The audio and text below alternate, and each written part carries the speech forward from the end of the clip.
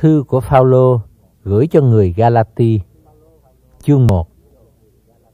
Phaolô làm sứ đồ chẳng phải bởi loài người, cũng không nhờ một người nào, bèn là bởi Đức Chúa Giêsu Christ và Đức Chúa Trời tức là Cha, đấng đã khiến Ngài từ kẻ chết sống lại, cùng hết thảy anh em ở với tôi, gửi cho các hội thánh ở xứ Galati. Nguyện xin anh em được ân điển và sự bình an ban cho bởi Đức Chúa Trời là Cha và bởi Đức Chúa Giêsu Christ là Chúa chúng ta, là đấng phó mình vì tội lỗi chúng ta, hầu cho cứu chúng ta khỏi đời ác này, y theo ý muốn Đức Chúa Trời là Cha chúng ta. Nguyện Ngài được vinh hiển đời đời vô cùng. Amen. Tôi lấy làm lạ cho anh em đã vội bỏ đấng gọi anh em bởi ơn Đức Chúa Giêsu Christ đặng theo tin lành khác. Thật chẳng phải có tin lành khác, nhưng có mấy kẻ làm rối trí anh em và muốn đánh đổ tin lành của Đấng Christ. Nhưng nếu có ai, hoặc chính chúng tôi, hoặc thiên sứ trên trời, truyền cho anh em một tin lành nào khác với tin lành chúng tôi đã truyền cho anh em, thì người ấy đáng bị anathem. Tôi đã nói rồi, nay lại nói lần nữa.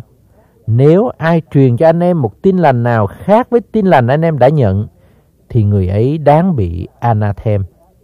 Còn bây giờ, có phải tôi mong người ta ưng chịu tôi hay là Đức Chúa Trời? Hay là tôi muốn đẹp lòng loài người chăng? Ví bằng tôi còn làm cho đẹp lòng người, thì tôi chẳng phải là tôi tớ của Đấng Christ.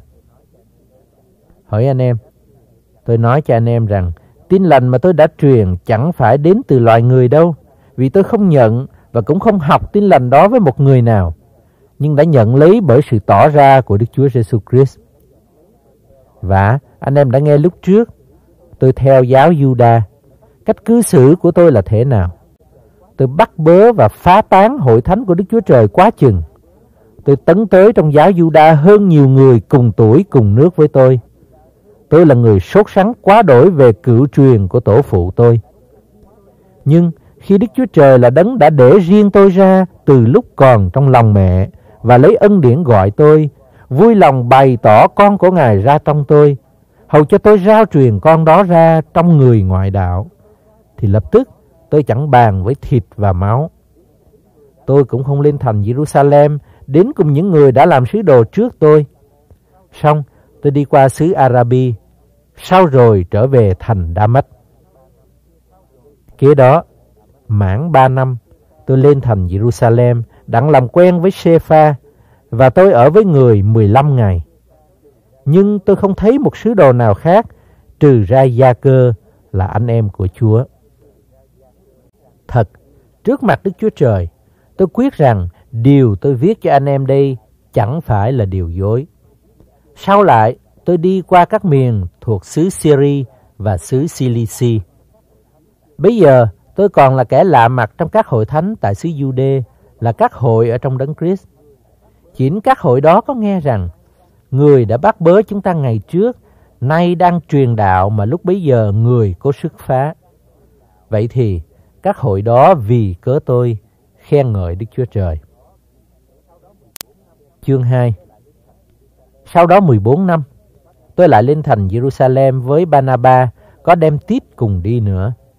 Tôi vâng theo lời tỏ ra mà lên đó, phô bày tin lành mà tôi đã giảng trong người ngoại đạo ra cho anh em. Lại phô bày riêng cho những kẻ có danh vọng hơn hết. Kéo sự chạy của tôi trước kia và bây giờ hóa ra vô ích chăng? Dầu tiếp kẻ cùng đi với tôi là người Greg, cũng không bị ép phải cắt bì. Chúng tôi đã làm như vậy vì cớ mấy người anh em giả lẻn vào trong vòng chúng tôi để rình xem sự tự do mà chúng tôi được trong Đức Chúa Giêsu Christ, đặng bắt chúng tôi làm tôi mọi. Chúng tôi không nhường họ một giây phút nào, chối chẳng chịu thuộc dưới quyền họ, hầu cho lẽ thật của tin lành được vững bền trong anh em. Còn như những kẻ mà người ta tôn trọng lắm, trước kia là kẻ thể nào thì chẳng can dự gì với tôi. Đức Chúa Trời không tây vị ai hết. Tôi nói, những kẻ đó giàu tôn trọng lắm, cũng chẳng làm cho tôi thêm ít chút nào. Trái lại, họ thấy sự giảng tin lành cho kẻ không chịu phép cắt bì đã giao cho tôi, cũng như sự giảng tin lành cho người chịu phép cắt bì đã giao cho phi vậy. Vì đấng đã cảm động trong phi để sai người làm sứ đồ cho những kẻ chịu cắt bì, cũng cảm động trong tôi để sai tôi làm sứ đồ cho dân ngoại và nhận biết ân điển đã ban cho tôi thì Gia Cơ, Shepha, Giăng là những người được tôn như cột trụ, trao tay hữu giao kết với chúng tôi, tức là Banaba và tôi, hầu cho chúng tôi đi đến cùng dân ngoại, còn các người ấy thì đến cùng những kẻ chịu phép cắt bì. Các người ấy chỉ dặn dò tôi phải nhớ đến kẻ nghèo nàn, là điều tôi cũng đã ân cần làm lắm. Nhưng khi Sepha đến thành Antioch, tôi có ngăn can trước mặt người vì là đáng trách lắm. Bởi trước lúc mấy kẻ của gia cơ sai đi chưa đến thì người ăn chung với người ngoại. Vừa khi họ đã đến thì người lui đứng riêng ra bởi sợ những kẻ chịu phép cắt bì. Các người Juda khác cũng dùng một cách giả dối như vậy, đến nỗi chính Banaba cũng bị sự giả hình của họ dẫn dụ.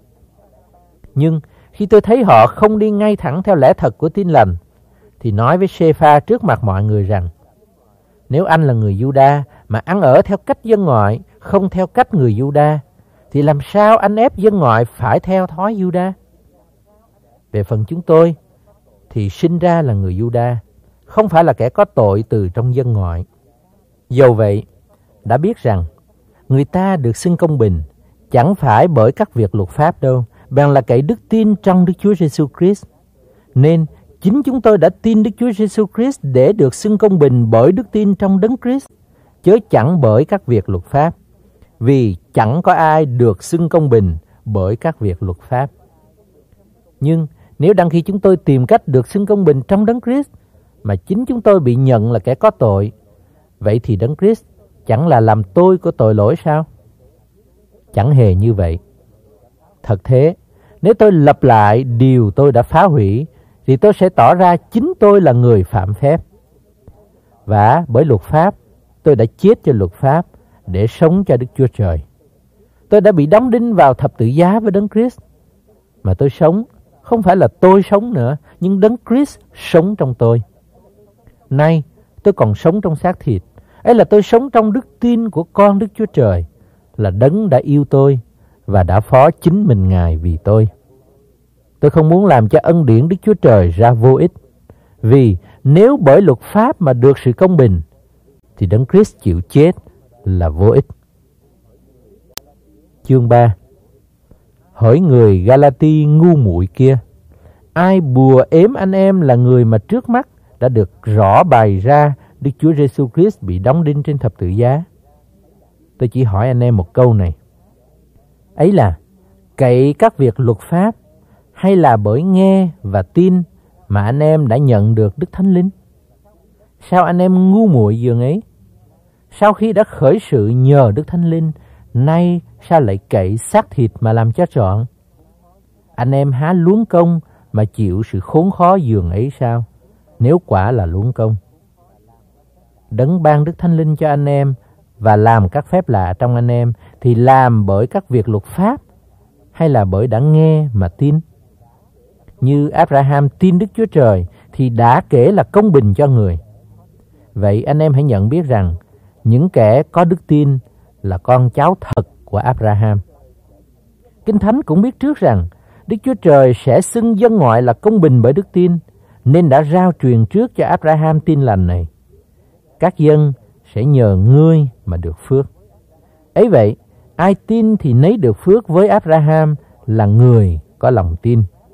Vì mọi kẻ cậy các việc luật pháp thì bị rủa xả, bởi có chép rằng đáng rủa thay là kẻ không bền đổ trong mọi sự đã chép ở sách luật, đặng làm theo những sự ấy. vả lại, chẳng hề có ai cậy luật pháp mà được xưng công bình trước mặt Đức Chúa Trời. Điều đó là rõ ràng lắm, vì người công bình sẽ sống bởi đức tin. Và luật pháp vốn không phải đồng một thứ với đức tin, nhưng luật pháp có chép rằng người nào vâng giữ các điều răn thì sẽ nhờ đó mà sống. Đấng Christ đã chuộc chúng ta khỏi sự rủa xả của luật pháp, bởi Ngài đã nên sự rủa xả vì chúng ta. Vì có lời chép, đáng rủa thay là kẻ bị treo trên cây gỗ. Hầu cho phước lành ban cho Abraham nhờ Đức Chúa Giêsu Christ mà được rải khắp trên dân ngoại, lại hầu cho chúng ta cậy đức tin mà nhận lãnh Đức Thánh Linh đã hứa cho. Hỏi anh em, tôi nói theo thói quen người ta rằng, Khi một người đã làm tờ giao ước thành rồi, thì không ai có phép được xóa đi hay thêm vào sự gì. Và các lời hứa đã được phán cho Abraham và cho dòng dõi người, không nói và cho các dòng dõi người như chỉ về nhiều người, nhưng nói và cho dòng dõi ngươi như chỉ về một người mà thôi, tức là Đấng Christ. Vậy thì tôi nói rằng lời giao ước mà Đức Chúa Trời trước kia đã kết lập thành rồi thì không có thể bị hủy đi, và lời hứa cũng không có thể bị bỏ đi bởi luật pháp, là sự cách sau 430 năm mới có. Vì nếu cơ nghiệp được ban cho bởi luật pháp, thì không bởi lời hứa nữa. Nhưng Đức Chúa Trời đã dùng lời hứa mà ban cơ nghiệp cho Abraham.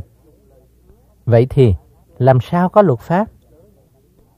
Luật pháp đã đặt thêm vì cớ những sự phạm phép cho tới chừng nào người dòng dõi đến là người mà lời hứa đã hứa cho. Luật pháp được ban ra bởi mấy thiên sứ và truyền ra bởi một người trung bảo. Và người trung bảo chẳng phải là người trung bảo về một bề mà thôi. Nhưng Đức Chúa Trời chỉ có một. Vậy thì luật pháp nghịch cùng lời hứa của Đức Chúa Trời hay sao? Chẳng hề như vậy.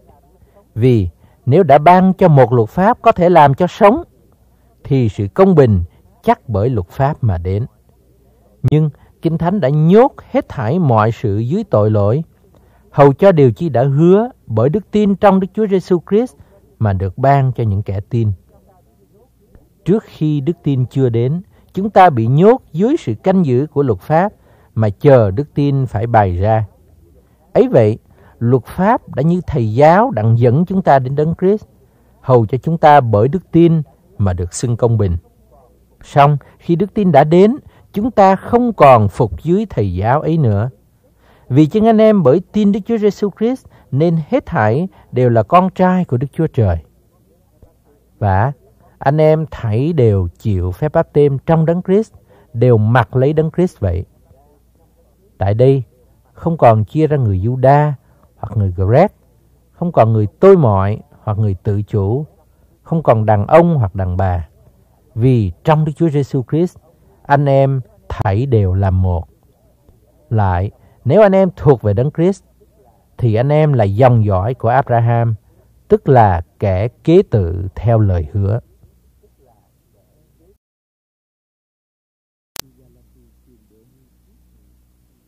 Thư Galati chương 4 Vả, tôi nói rằng, người kế tự, dầu là chủ của mọi vật, mà đang còn thơ ấu thì chẳng khác chi kẻ tôi mọi, phải ở dưới quyền kẻ bảo hộ và kẻ coi giữ cho đến kỳ người cha đã định. Chúng ta cũng như vậy, khi còn thơ ấu, phải phục dưới các lề thói của thế gian. Nhưng khi kỳ hạn đã được chọn, Đức Chúa Trời bèn sai con Ngài bởi một người nữ sinh ra, sinh ra dưới luật pháp để chuộc những kẻ ở dưới luật pháp và cho chúng ta được làm con nuôi Ngài. Lại, vì anh em là con, nên Đức Chúa Trời đã sai thánh linh của con Ngài vào lòng chúng ta, kêu rằng, A ba, cha, dường ấy, ngươi không phải là tôi mọi nữa, bèn là con. Và nếu ngươi là con thì cũng là kẻ kế tự bởi ơn của Đức Chúa Trời. Xưa kia, anh em chẳng biết Đức Chúa Trời chi hết, thì làm tôi các thần vốn không phải là thần. Nhưng hiện nay anh em biết Đức Chúa Trời, lại được Đức Chúa Trời biết đến nữa. Sao còn trở hướng về lề thói hèn yếu nghèo nàn đó mà suy phục nữa ư? Anh em hãy còn giữ ngày, tháng, mùa, năm ư. Tôi lo cho anh em. E tôi đã làm việc luống công giữa anh em. Hỏi anh em, tôi xin anh em hãy giống như tôi, vì tôi cũng như anh em. Anh em không làm hại gì cho tôi. Anh em biết rằng, ấy là đang lúc xác thịt yếu đuối mà tôi truyền tin lành cho anh em lần thứ nhất. Vì xác thịt tôi yếu đuối sinh ra sự rèn thử cho anh em mặc dầu. Anh em cũng chẳng khinh tôi, chẳng chối tôi, mà lại tiếp rước tôi như một vị thiên sứ của Đức Chúa Trời. Thật như chính mình Đức Chúa Giêsu Christ. Vậy thì, sự vui mừng của anh em đã trở nên thế nào? Vì tôi làm chứng cho anh em rằng, Lúc bấy giờ, nếu có thể được, thì anh em cũng móc con mắt mà cho tôi. Tôi lấy lẽ thật bảo anh em, lại trở nên thù nghịch của anh em sao? Những người đó vì anh em mà sốt sắng thì không phải là ý tốt. Nhưng họ muốn anh em lìa bỏ chúng tôi, hầu cho anh em sốt sắng vì họ. Có lòng sốt sắng vì điều thiện thì tốt lắm, lúc nào cũng thế. Không những khi tôi có mặt giữa anh em. Hỡi các con, vì các con mà ta lại chịu đau đớn của sự sanh nở, cho đến chừng nào Đấng Christ thành hình trong các con. Ta muốn ở cùng các con và thay đổi cách nói, vì về việc các con, ta rất là bối rối, khó xử. Hãy nói cho tôi, anh em là kẻ ưa phục với luật pháp, há không nghe luật pháp sao? Vì có chép rằng, Abraham có hai con trai, một là con của người nữ tôi mọi, một là con của người nữ tự chủ. Nhưng con của người nữ tôi mọi sinh ra theo xác thịt, con của người nữ tự chủ sinh ra theo lời hứa. Cả điều đó có một nghĩa bóng. Hai người đó tức là hai lời giao ước. Một là lời giao ước tại núi Sinai, sinh con ra để làm tôi mọi. Ấy là nàng Aga. Và Aga, ấy là núi Sinai trong xứ Arabi. Khác nào như thành Jerusalem bây giờ. Thành đó với con cái mình đều làm tôi mọi. Nhưng thành Jerusalem ở trên cao là tự do và ấy là mẹ chúng ta. Vì có lời chép, hỡi đàn bà son, ngươi là kẻ chẳng sinh nở chi hết hãy vui mừng. Ngươi là kẻ chẳng từng chịu đau đớn sinh đẻ, hãy nức lòng mừng rỡ và bực tiếng reo cười. Vì con cái của vợ bị đẻ sẽ đông hơn con cái của người nữ có chồng. Hỡi anh em, về phần chúng ta, chúng ta cũng như y sát là con của lời hứa. Nhưng như bấy giờ, kẻ sinh ra theo xác thịt bắt bớ kẻ sinh ra theo thánh linh, thì hiện nay cũng còn là thể ấy. Song Kinh Thánh có nói gì? Hãy đuổi người nữ tôi mọi và con trai nó, vì con trai của người nữ tôi mọi sẽ không được kế tự với con trai của người nữ tự chủ. Ấy vậy, hỏi anh em, chúng ta chẳng phải là con cái của người nữ tôi mọi, bèn là con cái của người nữ tự chủ. Chương 5 Đấng Christ đã buông tha chúng ta cho được tự do. Vậy, hãy đứng vững, chớ lại để mình dưới ách tôi mọi nữa. Tôi là Phaolô nói với anh em rằng, nếu anh em chịu làm phép cắt bì, thì Đấng Christ không bổ ích chi cho anh em hết. Tôi lại rao cho mọi người chịu cắt bì rằng, họ buộc phải vâng giữ trọn cả luật pháp. Anh em thảy đều muốn cậy luật pháp cho được xưng công bình, thì đã lìa khỏi đấng Christ, mất ân điển rồi. Về phần chúng ta, ấy là bởi đức tin và nhờ thánh linh mà chúng ta được nhận lãnh sự trông cậy của sự công bình.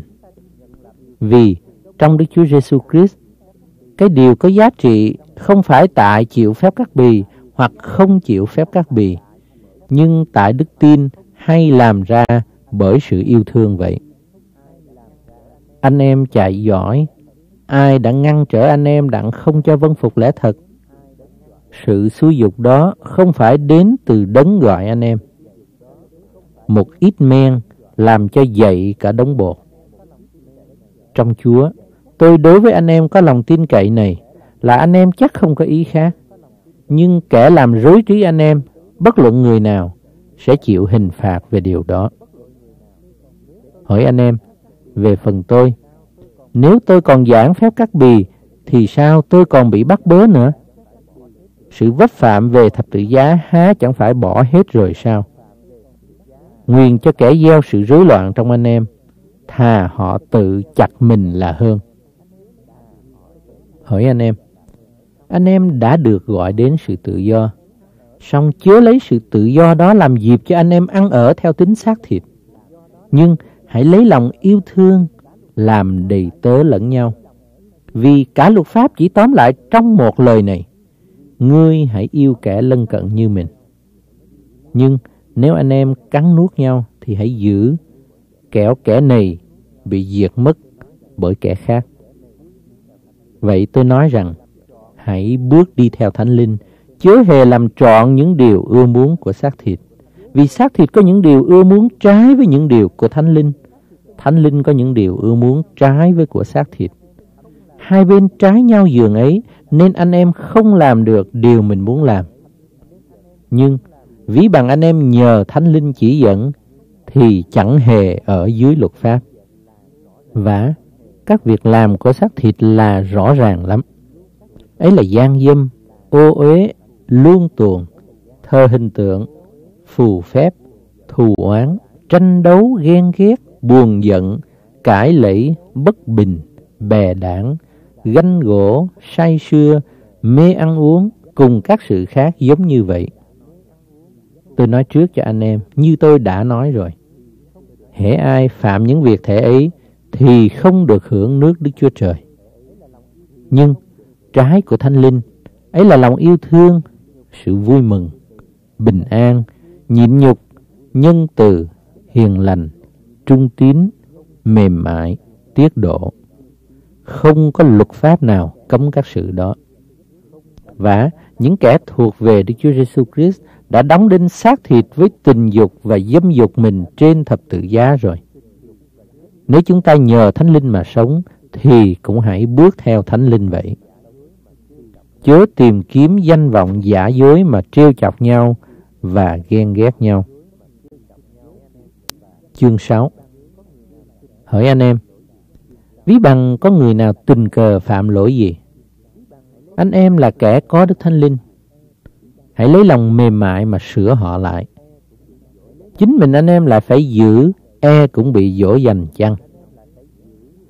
Hãy mang lấy gánh nặng cho nhau. Như vậy anh em sẽ làm trọn luật pháp của Đấng Christ. Vì nếu có ai giàu mình không ra chi hết mà cũng tưởng mình ra chi, ấy là mình dối lấy mình. Mỗi người phải thử xét việc làm của mình, thì sự khoe mình chỉ tại mình thôi, chứ chẳng phải tại kẻ khác. Vì ai sẽ gánh lấy riêng phần nấy.